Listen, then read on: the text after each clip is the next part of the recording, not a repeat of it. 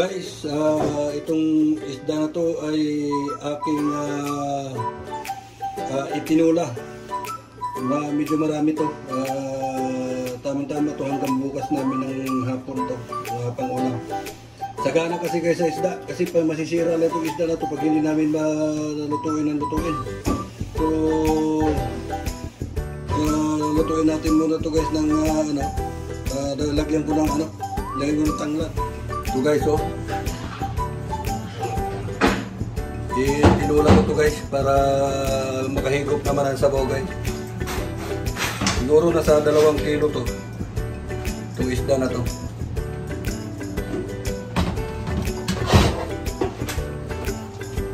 So dalawang kilo guys, itinula lang namin. Uh, bukas ah, uh, mag-asar siya to. Pero ngayon tinula lang muna.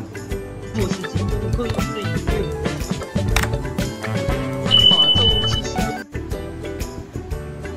Guys, ah, ayan na yung ano, ayan na yung uh, ititinula ko.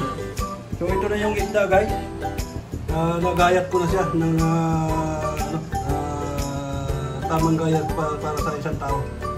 So ito yung mga gulay guys niya, saka yung ano, mga rekado niya. Nandiyan yung kamatis, saka sili, saka yung sibuyas, saka yung tanglad. Nandito yung sibuyas na dahon guys. Pampabango yan, masarap yan. Nandito yung upo. Ayan guys oh. At saka yung ano, yung ukra. So, magtataka ka guys kung bakit may ukra. Pero itong ah, ano, pag tinula ko, nilalagay ko talaga ng ukra kasi masarap yan sa tinula. Ah, akala nyo siguro sa sinigang gula, sa sinigang lang nag- nilalagayan.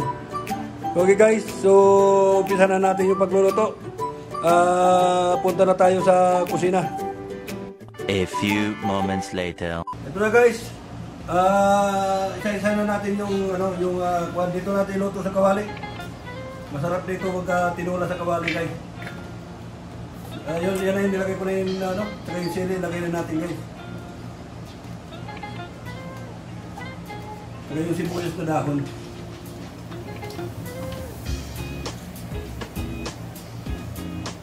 Saka yung kamatis guys, lagay na natin.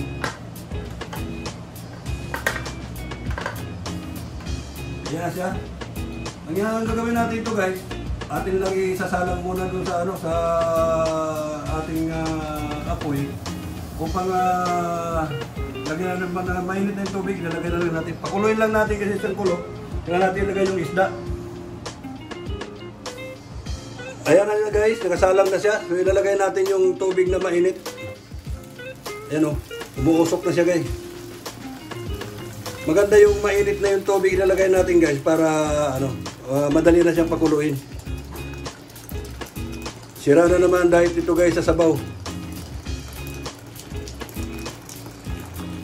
Ayan, okay na. So, bubuksan lang natin yung apoy guys.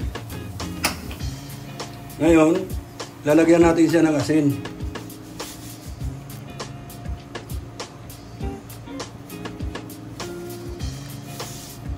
Tapos yung pamintang durog guys, ilalagay na natin.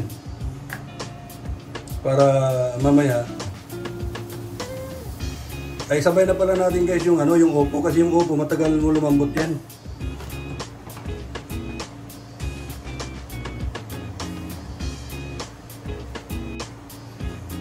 So guys, ilalagay na natin yung upo. O, ito na siya. Ilalagay na natin, ihalo na natin. Kasi matagal lumambot yung upo guys, kaya pag kumulo yan, sabay na yun, ilagay na natin yung isda. So takpan muna natin guys. Hintayin natin siyang kumulo. Pag kumulo yan, ilagay natin yung isda.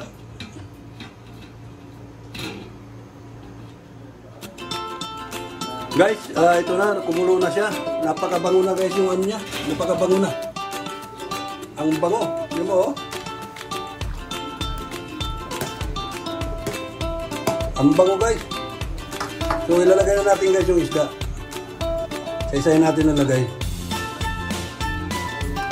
Maya-maya ito guys, taga ano, yung ah, cherry, taga tong ano, hindi ko matandaan kung anong pangalan itong isda na to eh. Kalimutan ko ang pangalan ito sa amin. Pero mataba yan, masarap yan itinula guys.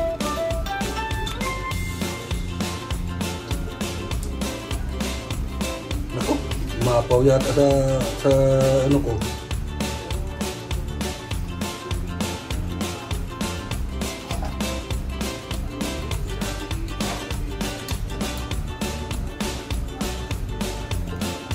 Guys.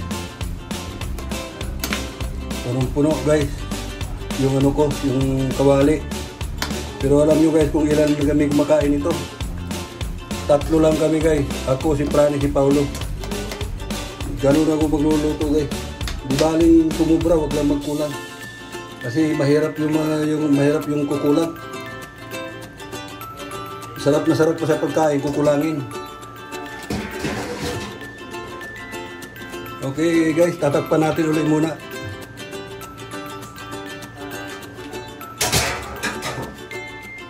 Guys, uh, titingnan natin kung ah, ano na. Pwede na natin na ilagay yung gulay na ito. Ayan. Ayos na, pwede na ilagay yung okra guys. Medyo luto na yung ano natin, yung ah ako, ang taba ng ano, maya-maya. Sarap ng maya-maya guys, ang taba.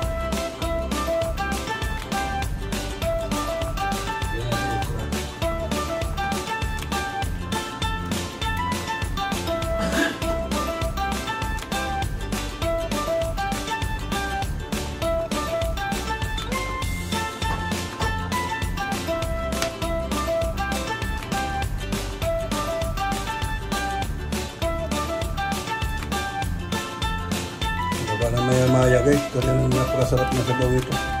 Mataba yung maya-maya.